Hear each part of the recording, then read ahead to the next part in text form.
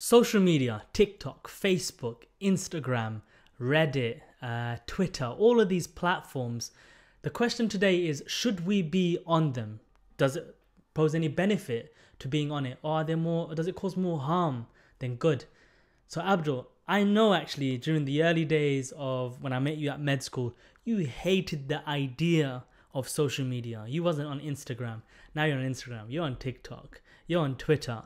You're on Facebook. You've pretty much adopted everything but Reddit. Mm-hmm. Why? Why? Why did you? Let's let's start from the the the initial point, right? Why did you hate it at first? So believe it or not, you are right. I was anti social media. I hated it, and I'll tell you why I hated it. Right, and obviously things have changed, and my mindset about social media is different. The way I saw social media. Let me before that. Let me tell you about myself. So um, I like to be a very private person. I like to have a set number of friends, a, a close circle, if you like. Mm. I don't like sharing intimate details. I don't like sharing certain things mm. online or out there. You know, I was that guy, you know, during GCSE time that, you know, I'd get full marking my exam, but I wouldn't tell anyone, right? Mm. And I'd like to keep things to myself, close to my chest. And the thought of social media, I didn't have, you know, Instagram, I didn't do it up until like last year medical school elective mm. time, right? So that's yeah. five, six years of no Instagram. so what I didn't like about social media was the fact that I thought social media was all about self promotion, putting yourself out there, showing off, sharing intimate aspects of your life. As an introverted individual, I didn't feel comfortable. Mm. And I just, for some weird reason, I just thought it was a massive distraction. No good will ever come out of it. Um, and only did we go on electives when you said to me, why don't you create an Instagram where you can share your elective photos and at least, at least it will be a memory, a photo album of some sort, and other people can see it. And I thought, hey, do you know what? Mm. At least it will give me an excuse to take photos of my electives because I even then I didn't like taking photos, right? Yeah, yeah, yeah. Um, yeah, it's hard when I'm trying to produce promotional material and I got no photos of you, man. Yeah, it's like thumbnails, right? I'm very picky with the with the image of the, this, this perception, right, of, of myself yeah. online. But I don't know if that makes sense or if it's a very weird thing to, to hear. It does. It does. So, so social media is a window into your life. Yeah. Now imagine people peering into your window, your house window, every day. So it's that idea, isn't it? It's people looking at you, people and remember what people see people are within their rights to form a judgment. Exactly. i know we say don't book, don't judge a book by its cover blah blah blah blah but all humans judge. All humans do judge. When you see someone you judge them straight away. So from your images from your from your bio from all of those things right it creates a judgment on you right? Um so i can see why not. I can see absolutely why not. Um so then the question is then why did you why did you agree to then doing it why did you do it? So, I had Facebook from college times, mm. but I wasn't actively posting or sharing things. It was between friends, and you're tagging people in each other's photos, right? Yeah, that was a thing back in then days. Then I had Instagram to share my photos, mm. and it was more for my own memory. Like, mm. oh, I'm gonna go on Instagram. It's gonna all be there, and the filters, and they made it look quite good, right? Let me tell you, then it became addictive so this is a different phase that entered my life, right? Mm. I remember spending hours trying to find the perfect post, the perfect filter, the right caption. you know, like once I was out there and you know those dopamine hits or whatever, when people start mm. liking it, then mm. I was in the middle of on the beach posting a picture and thinking like how many people are liking it, how many people are following me. Do you see? I went into that vicious mm. mindset, man, of okay, now I need to get the next best picture. Okay, how do I make my bio enticing? What type of display picture do I have? How many people do I follow? And you know, back then it's like you can't follow too many people if you don't have enough followers. All of this stuff kicked in, right? Yeah. yeah. Which is, let's think about, is a very toxic place to be. Mm. Then I started comparing my account to other people's account that had thousands of more followers, thousands more posts. That it seems like their elective was better than our elective, or they were living yeah. a better life, right? Mm. And then I think I did that for a while. Then went to Coventry for foundation training. Didn't really use social media. Mm. If you go to my social media page on Instagram, it's very sparse. Very mm. there's no order. Yeah, yeah. it's random crap basically. No wonder you never made it as an influencer. Yeah. Do you know what I mean? you never made it. so I basically left as it is. Kind of took a step back while working. Coventry itself was a very difficult time for me while doing foundation training one and then we started the podcast, Mm. and then I saw Instagram and social media in a very different light, in what I would say in a more healthier way, and then I fell in love with it, yeah. right? now you love it. and now I love social media, right? Yeah. Within moderation, and I love it for a very different reason, and it allows me. So maybe what I'm trying to say is, social media. I can now enjoy social media Mm. in a way that's very natural to me, Mm. without having to do the things that I hate, which is oversharing, Mm. intimate aspects of my personal life, always constantly vlogging and sharing stories X, Y, and Z, right? And I can tell you a bit more about how I try to make social media healthy for me, Mm. if that makes sense. Yeah, no, I get, I get what you, completely what you're saying. But just to go over that bit, what you're talking about, when uh, the phase where you became addicted to it. So that's that's the danger of social media, right? So let's So, talk about some of the dangers from your experience. Obviously, I'm a very skewed individual. Mm-hmm. You, I feel, had a very neutral, a bit more. What What's your thoughts on it? so I use it as a showcase. Mm. So I always had the idea of brand development. Mm. Although I didn't, I wouldn't call it. I knew what brand development was. I knew what I wanted to stand for. Mm. I knew what I wanted to show people. Right. Remember, and this is very important to know. Social media is wh- what the person chooses to show you Yeah, right? Life isn't that green for anyone, man. So I see people like, so like you said, you're on the beach, you're chilling out. You should be taking in the experience. Instead, you're thinking about, did I get likes for that picture I posted? And let's be honest, people are like, there's, a, there's, it's a disease right now. It's a pandemic in its own self here, where people are in restaurants, the food comes, it's going cold, and they're out here taking photos of it. Uh, taking the photo is cool, man. Take the photo, move on, enjoy that food that you're about to have. Um, and it goes with all the moments. You're watching a moment, say on a you're in another country, you're you're looking at the moon or something. You could take it in. You could take in something incredible, but you choose to pull out your phone, watch it for your phone. It's saved on your phone. And how many of us have ever looked back at that photo, right? So it ruins experiences for us. And then the mindset, your your life becomes warped around getting likes, the right Yeah. caption, and all of that. It's not a healthy place to be. So I'm thinking, in hindsight, if we didn't start the podcast mm. and use social media to grow the podcast and mm. share snippets and share inspirational mm. stuff, how would I have been? But but but look now though, you you're describing a different use for social media. You're using it. You're saying now it's a tool. It was a tool. It's a tool for you now. Before though, it, what was it? It was your I don't know, like a like a guilty pleasure or enjoyment or time pass, right? It, it used me. I was the tool. exactly. And remember, and that's what they want. They want to use you. Why your attention is valuable, advertisement, etc., etc. How many how many how many things have you bought off Instagram? Probably. Like, uh, yeah, like uh, yeah, it does trigger stuff, and it does hundred percent. It does plant seeds. So, yeah, so that's the reason why I was anti social media. Now, like you mentioned, I'm pretty much on every platform, and then I use different platforms for different things. Mm, mm, mm. So, Instagram is a bit more of a visual thing, whereas let's say Twitter, I, I see Twitter as a ever never ending book. I enjoy reading. I love reading, um, and Twitter is like a big book. But you know what though? The right corner of the right corner of all social media is good. The right corner. I saw a stat. Apparently, I think this is just made up for the um the the the, the feel of the tweet itself. But ninety plus percent apparently is garbage of Twitter in terms of thoughts and stuff. But the stuff you're referring to is all the threads you're reading. Learn about learning, startups, marketing, branding, putting yourself out there, healthy living, uh, minimalism, productivity. There's so much that's being shared that you can learn from, right? That's what you're referring to, right? Hundred percent. Um, so no, carry on. Tell, tell, tell me a little bit about how you're using Twitter and Instagram and Facebook if you're using still Facebook. So Um, I don't really use Facebook anymore. So the two platforms I'm active on is Twitter, a lot more than Instagram. So Twitter is this never-ending book. There's loads of tweets. The tweet is a it's amazing. What they've done with Twitter is amazing, right? Mm. Like a lot of information in such a short space of time and effort and reading, right? And you're learning from some of the best people in the world. So much insights, and it's all for free, right? Mm. What I love about social media is the amount of information that is so freely accessible is incredible. Mm. There are no geographical boundaries, right?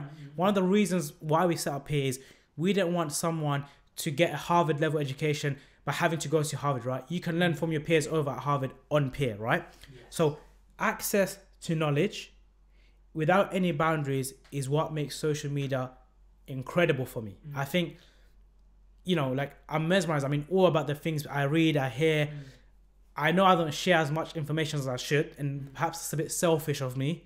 And I think we should share the stuff we share between ourselves.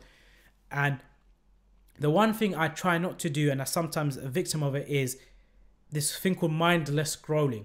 Mm. All these platforms are designed to scroll forever, and mm. there's always one thing or another that will engage you, engage you, engage you. You know, long before you hold, you realize you spent hours on it. TikTok. I remember when I set up TikTok and I said I hate this app. I don't understand it. It's not working for me. Yeah. Now I'm in the addictive phase of TikTok, but I'm addicted to the addictive phase of TikTok because I found the right corner of TikTok for me. Mm. It's a lot of like inspirational, motivation. TikTok found the right area for you. Yeah. Exactly. Algorithm worked you out. me out and I'm spending a lot of time on TikTok, right? And only because of Ramadan I've kind of stopped. But this mindless growing, man, I don't know what other perks or benefits you see from social media, what where you're most active on. So I think th- so. This is what why le- let's talk about social media about what it's done for me, right? So it's broken down borders for me. Mm. I've connected with minds and people that I would never have ever come across, right? J- Just think about it. Like you said, even you, we've got a geographical restriction around us, right? We live in London, mm. and then even in London, you have to think about time, how long it takes you to get from what side to what side, and then don't forget everyone's got their own schedule, mm. right? Within a single message, a single tweet, a single Instagram DM or a Facebook message, you can connect with someone, and that person can connect you with something else, right? Um, of an opportunity, right? Um, I think uh, Sahib, Dr. Sahib, uh, said this, the founder of the um, what's it called, the Human Behavior Club on Clubhouse. So he puts himself out there. He's the first to be on there, and it's because he's trying to increase the surface area of opportunity. Of opportunity. Now you made a whole video on this, right? How you can get a job through Twitter, and the idea is right. The traditional CV is, I think, a little bit uh, redundant. We do it for formalities. I think. I think a lot of your work you can actually just publicly display, and I guarantee some recruiter somewhere will see it and they say, you know what, I want to work with this person. Also, for example, even the Peerr members that we want to bring onto the team, mm. right? We know about them without them speaking a word to us. We mm, know what they're like. We know what they like and don't like. We know what they share. We know. We even know what some of their uh, they they've shared some of their maybe performances or mm. accomplishments or how they do certain things. We know everything without knowing it, and it goes for us as well, and it goes for everyone on social media. It's your showcase. It's your CV without it being a CV. Um, so what it's done for me is it's done that it's opened the surface area of opportunity. People know what I'm doing. People are joining the ship. So for example, if I wasn't on social media, how would I have gotten the first trailblazers onto Peerr? How would I have done that? I needed those people. Even before Peerr, Peerr's secondary or tertiary in our journey, right? It came later on. The guests. How did we get the guests? we never knew let's say let's say a few years ago getting guests onto a podcast like the one we're doing mm. right? You'd have to send an email there's back and forth. Now people are putting themselves out there on social media. Yeah, and they're welcoming it. and they're welcoming it right? I think when you're on social media to a certain extent it's an invitation for other people to connect with you Exactly. right? To connect. when you're putting it out there we get loads of dms right? Mm. And it's permission for you guys for other people like okay this individual's here we can engage with them and this social media their feed is like this this is their bio right? I think a lot of the people with to be fair the reason why we're here is because of social media. Let's be honest man. Exactly. put in the, the the bits and bobs we do here all the people reached out to on instagram twitter linkedin all mm. came onto the podcast Peerr right? Exactly, exactly. So there's that element to it, and then the other element, we, which we can't just put away. I know there's a lot of negative. We'll, we'll we can talk and talk about that about how to control it, but some of the one element to it is it's fun, man. Humans love storytelling, and we love listening to stories, right? We love sitting there, learning, listening to how someone's holiday went, mm. seeing how their holiday went. Sometimes you want to see, oh, they went to this particular country. What was their food like? You want to hear it. So mm. think about it all the vlogs you watch mm. all the the youtube videos that you watch the instagram page that you follow it's nice to see that experience. And it's also beneficial. So let's talk about it from a career perspective. Doctors sharing their sharing their day-to-day work what they do. Students they love it.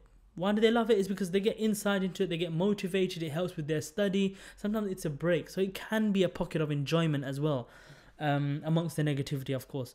Um, the other thing that it does is, while sharing stories, is that the the number one tool I say, the number one tool for it is, it's a form of education. Mm. It's a form of education. So, for example, in the startup world, listening to other founders' story, their opinion, how did they do things, right? It's so much more beneficial than I would say than doing a business degree at this stage, right? Yeah. I mean, you can stop our startup and go tomorrow and say, you know what, before doing this business, we're going to go and do a business degree. Mm. But you know what? How much are you learning by doing and just listening and connecting to um, founders? Mm. Right? How much did we learn from the founder of Clear? Yeah. Um, I was on the meeting with her. She taught me so much. Mm. Right? It's like that. So I think you learn you learn a lot Definitely. from founders and And think things like that. social media, obviously, social media is what you make it to be, right? And it has given so many opportunities, and it wouldn't be a discussion about social media if we don't talk about the opportunity to earn a living off social media. How many people do you know that have left their day job mm. and become influencers, right? They're now got an audience, they're leveraging, they're selling products online, they're getting paid to do posts on Instagram, mm. you know? Look at all of these celebrities paying hundreds of thousands of dollars, right? So social media is what you make it to be. Mm. And I agree with you, the education. I think I have learned a lot of information where, you know, I may read a book and, you know, it takes X amount of hours to finish the book, whatever, right? Mm. But a lot of high gem information or high information in a single tweet or a single Instagram post or like, you know, those reels and stories, man. Mm. So definitely social media is here to stay. Do you think social media is fake though now? It depends. Why are you on Twitter? So that's one answer. Why why are you on Twitter mm. and not on Facebook or as much on Instagram? And what what? Okay, so the type of con- content you're consuming is clearly entrepreneurial content, mm. life content, productivity con- content, mm. um, self development content. But is it also fake in other places? So there is this whole concept of reality and your online social media presence. Mm. Is it the truth? I do think there is an element of fakeness. Maybe people are putting making it seem their lives are better than it actually is, or faking happiness or faking success, right? For likes, views, or whatever it is, right? For me, social media, I don't think I'm as exposed to the that side of social media because I don't use Instagram that much. It's a lot of the I use Instagram now more so to share content mm. and consume less mm. on Instagram, right? So I'm not following new accounts on a regular basis. Mm. I don't I'm not too I don't care really too much to see what other people are up to, what they're doing, right? Unless mm. you, they're my close friends or mm. like people I find inspiration and motivation, right? And I see mm. their stories, I'm like, okay, cool, they've done this, it's motivated me, right? But the general day to day people, I don't really follow those accounts or engage with them anyway. Whereas Twitter, I'm there to actively learn from people who have been there, done it, from founders, from people whose niche or area of expertise is marketing or copyright or entrepreneurship. I think the way Twitter does it though is that you can't be fake there. Yeah. You can't be fake on Twitter because you it's it's and it's it's just a thought it's just a a piece uh, uh, essentially a phrase that you just put out there. It either goes into the abyss and no one knows anything about it or someone connects with that. I think so rather instagram is more of a it's more of a place to But I think maybe so is that tweet I sent you? I, I remember it's like on Instagram, poor people act rich, and on Twitter, rich people act poor, right? So naturally, you can visually show fakeness, mm-hmm. wealth, you know, all your accomplishments and stuff like that, right? Mm-hmm, mm-hmm. And it's easy to take a picture. Whereas on Twitter, the way you communicate, the modality of communication is words, it's articulating yourself, writing in a certain. And what's even more impressive is you're limited to 240 characters. Mm. So there's a lot of time, effort, and thought into it. Let me, tell you what, why I, I, I brought up the question of fakeness because fakeness is di- I, I think directly related to the mental health um, factors, the detrimental fa- um, effect it has on mental health, right? So this fakeness, as humans, we compare, right? You have to be honest with yourself. You you compare. You naturally compare. Oh, I, I I did that. I didn't get that result. Oh, I did this and I never got that. Or she got this. Or I got that. Whatever. So I think there's a comparison element there, and the fakeness. I think we have to understand it's it's it's fake or it's just the best bits of their life. That we, we have to we have to understand that, right? The fakeness is is scamming people because I know people that have set up all these things uh, for example, like the the crypto world, especially, yeah. right? They've hired the Lambos and stuff like that. They earn more money from the the the course they're selling from than actually what they're earning from being able to do those trades. Mm. That's what fakeness does. Mm. But then the the concept of they're just the best bits of your life, and it's fine for them to showcase that. But you, on the viewer end of it, has to understand, yeah, that's the best bit of their lives. Mm. Um, so yeah, what do you think about that? I think people use social media for different things. People use it to scam people. I think people use it to show a certain part of their life out there. Maybe it makes them feel better. Maybe it's to, you know, show off, or maybe it's, you know, a lot of people like to, you know, be like, at one point you doubted me. One point you thought I would make this, but now I'm successful. I have this car. I have this house. I have this family X, Y, and Z. Right, but I'm not that engaged on that side of social media. I know it exists, and I think what we can say is, like you said, is understand that what people show on social media isn't reality. It's not the day to day. They only show the best bits. Who would show the crap parts of social media? Would you, you know what? You're driving a crap car. You're not gonna share it. But the one day you get a brand, I never put up my car. Do you know what I mean? You're gonna start sharing it, right? It's human nature. You want to share, right? It's driven by like likes and vanity metrics. Mm. And the one thing we say is, or I try to do myself and it happens to me as well, right? You compare yourself to other people. Mm. You're like, oh man, you know, he's done this and he's got this nice car and he's this stage in his career, or he got to do five operations. I only got to do two, and he, you know, he's on this journal and I'm only in this journal. I think don't start comparing yourself in it. Like mm. social media is amazing. It's an incredible thing. And I see it as a tool. Social media should be treated as a tool, yeah. and you can use that tool the way you know you yield it for your own outcomes, right? Don't let it use you. Mm. It's easier said than done, right? Exactly. Like you said, when you say tool, it can be used for just like showcasing your stuff, even showcasing your your holiday and using it as a uh, as a photo album and stuff like that. Just use it as a tool rather than it using you. Um, but I do agree. Would you say on the balance of things though, it's a it's a healthy tool. It's a tool yeah. that we should be using Definitely. in 2022. I agree. I think if I could go back in time, mm. I would have started social media earlier. Mm. I would have made a like a YouTube channel earlier, right? Mm-hmm. And it's like you know one of our podcasts said when a new social media or a new platform comes out, you should jump on it straight away because mm. it's the people that jump on it first are the ones that have the most exposure, the most reach, the most opportunities, right? Mm. There aren't. If a new platform comes up tomorrow and there's only 10 people, you can only follow those 10 people. Yeah, yeah. Creating Instagram now and trying to get the best stuff or get as many followers or whatever you want to do is very, very more difficult, right? You're yeah, competing, it's oversaturated, right? So I think I should have started it earlier. And it's like all that knowledge I missed out on. And there's a lot of people which I've noticed is if I followed them a year ago, they would have been even more accessible to me. But since they have so many more new followers now, mm. Reaching out to them is very difficult. And it's not they don't want to connect with me, they get hundreds of DMs. Mm. Right? Thousands. I'm not on their radar, innit? Mm. So I think I should have started social media earlier but I think my personality was a barrier to what social media is, and I'm glad I got to do certain things in life that opened up social media and allowed me to see it as a tool to do what I want to do and get enjoyment from it. Absolutely. Quick shout out for Peerr here since it fits so nicely. Peerr's just launched your place to build an audience, so you have to jump on there, uh, making education social. Um, but yeah, so saying talking about Peer actually, I guess that's one of the main reasons we started it. So if social media is so beneficial as an educational tool, right? It's people sharing knowledge. I guess that's how Peerr relates to it. Um, but yeah, so I think social media is an incredible place um, for the transfer of knowledge. Um, any other lasting remarks? Nah, I think if you're not on social media, I think it's worth going onto social media you don't need to become an influencer.